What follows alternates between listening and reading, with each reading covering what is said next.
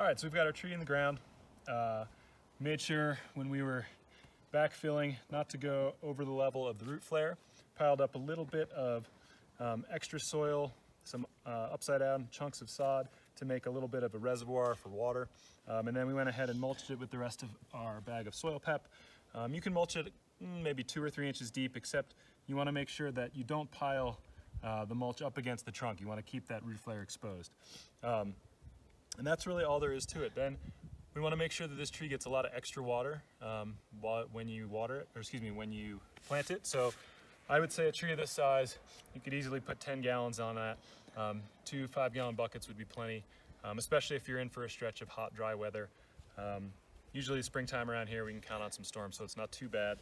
Uh, one thing as you're watering it, you don't want to just dump the whole bucket on there, uh, especially with a real thick clay soil. Um, it's all going to just sit in there or just flood out. You want to kind of take your time, make sure it's draining in there.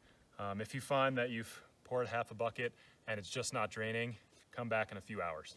Um, you, very few trees want to just sit in a puddle. Um, so yeah, so that's, that's good to know. And then um, the first year or two uh, that you have the tree, you want to make sure you're giving it a good deep watering um, about once a week or so. Um, if you go through a really hot, dry stretch like we get in Utah in the summers, um, and it's looking a little droopy, absolutely feel free to give it more water. But we want to make sure that the water is getting as deep down to the roots as possible. So you could leave a little hose trickling on that for a while. Um, that would do it. Uh, a lawn sprinkler is not ideal.